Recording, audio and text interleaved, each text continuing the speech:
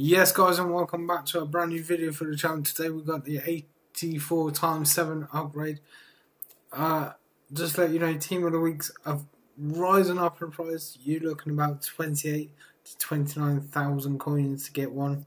Or do the team of the week player pick. Save you some coins here. All you need to do an 83 rated squad. I've got three 83s, two 88s,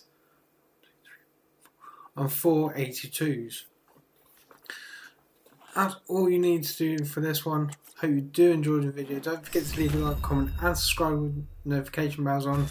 Don't want to miss any videos or or streams like this in the in the future. Let's go and open it and see what we've got. Hopefully, pack of blue. Let me know what you get out of yours in the comment section below. Let's do this. No blue, of course. And yeah, let me know what you get out of yours. I'll catch you in the next video stream.